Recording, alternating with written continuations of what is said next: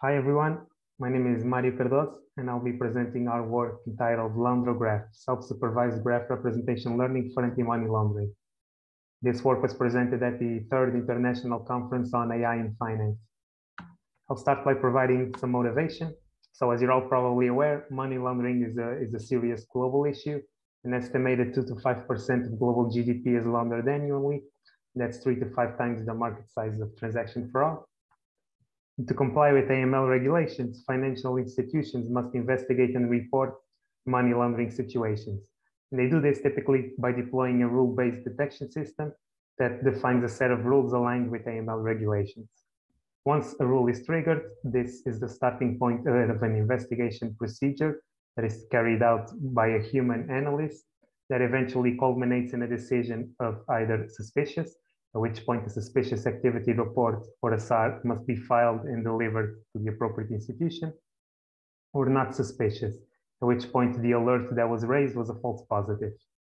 These investigations are centered around an entity, typically either a customer or an account. And if the financial institution does not comply in reporting money laundering situations, they can face severe civil and criminal penalties.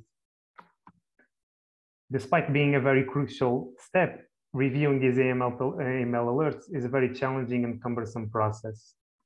This is because rule-based systems have very high false positive rates, estimated to be over 95%, because the analysts have to filter through a large bulk of financial movements to detect to see if any suspicious activity was was was was performed. And these large bulks of interactions typically require the analysts to look at multiple other entities that uh, interacted with the customer being reviewed. And so navigating this large network of interactions is very challenging.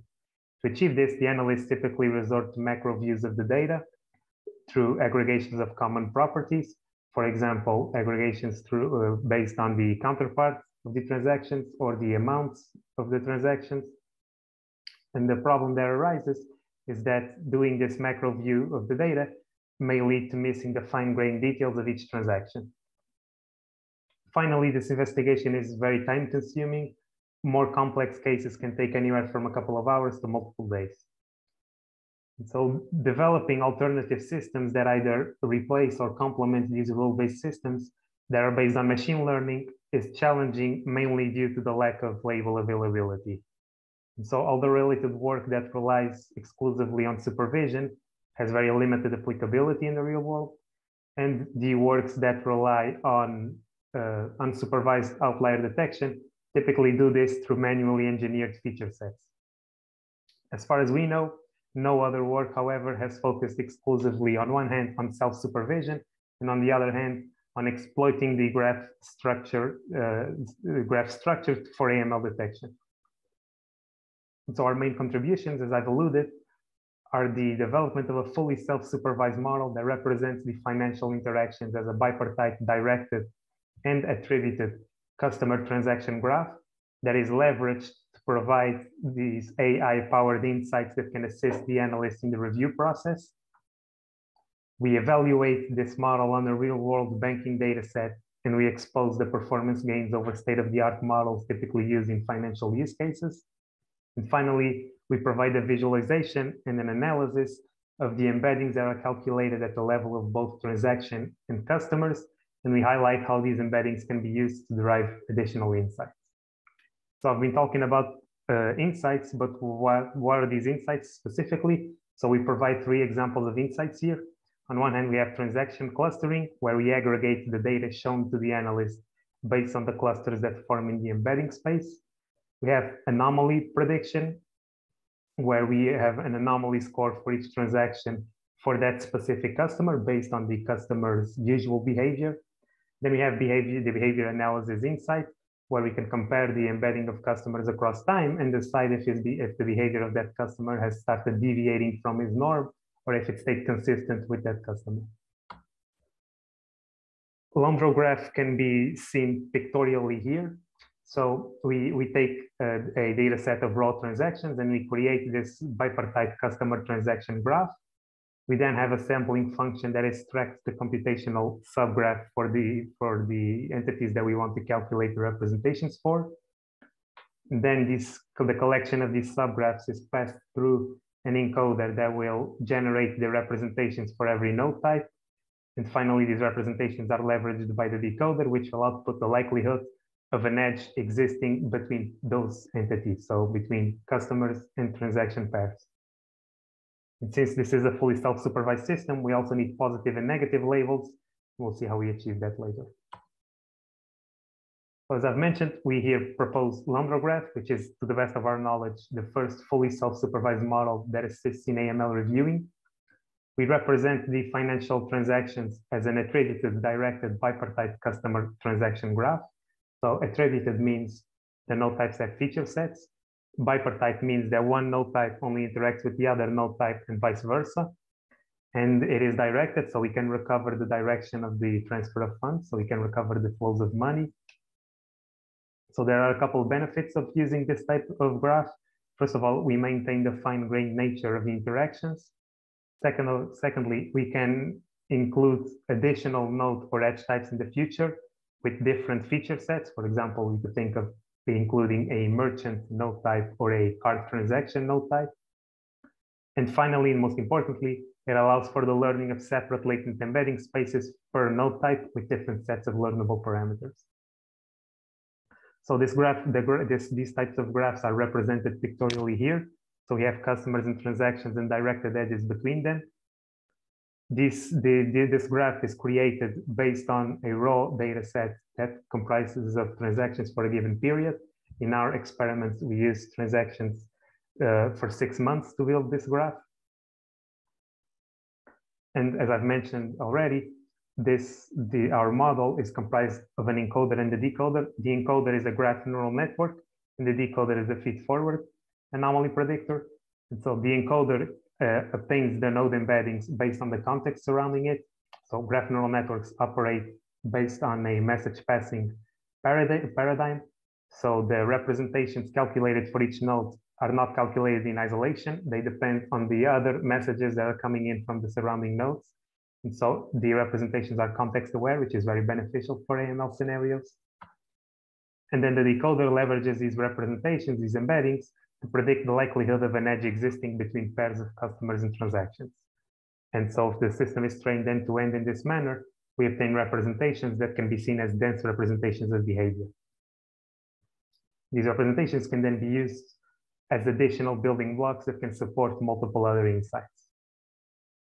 I have two equations here for the encoder and the decoder. So this equation for the encoder here is using the graph attention network uh, message passing operator, which calculates an attention coefficient per edge, which indicates how important that edge is for that for the for the representation of that node. And the decoder uses these representations, combines them together through a Hadamard product, and then applies a sigmoid nonlinearity to obtain the probability. And as I've mentioned already, our model is trained on the fully self-supervised task of link prediction. And, and to train, we need positive and negative labels. So positive labels in this scenario are pairs of customer transaction links that did in fact exist. And negative labels are pairs of customer transaction links that are sampled through a sampling function. For example, random uniform sampling. And then it is trained to standard binary cross entropy as I've shown you. This is the algorithm for our model. So we receive as input a graph uh, and, and, the number of GNN layers, a neighborhood sampling function, which extracts the computational subgraph from the for, for a specific set of seed nodes. We have the mini edge size, an edge sampling function, which will dictate our labels, and an edge direction or edge type that we're trying to predict.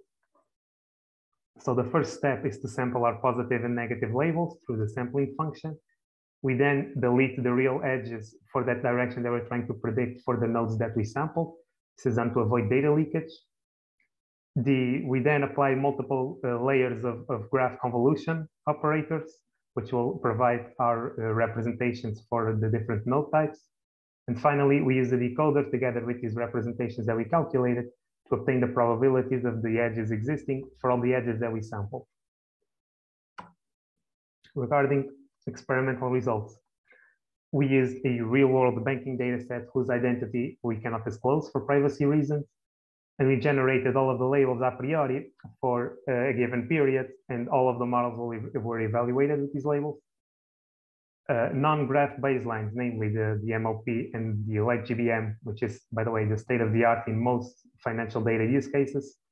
These baselines inform their predictions exclusively through the feature sets. So we concatenated all of the required and relevant features, and we use those to predict the, the labels.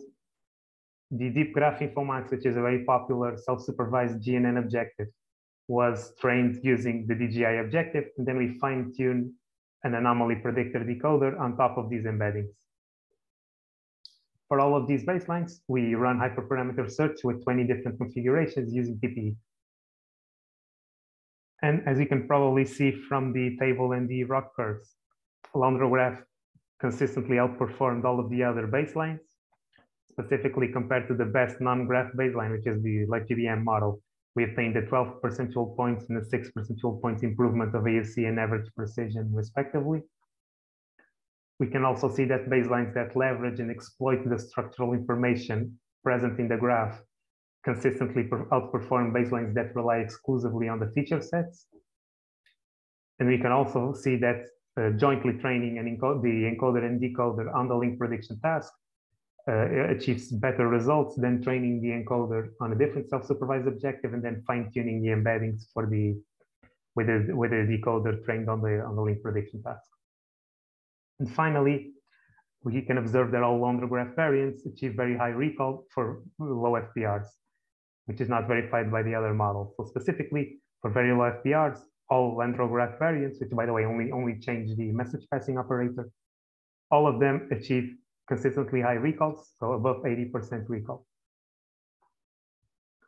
So besides providing this anomaly the score, which is already a very useful insight to provide because it guides the analyst towards specific potentially suspicious interactions, we also support additional insights.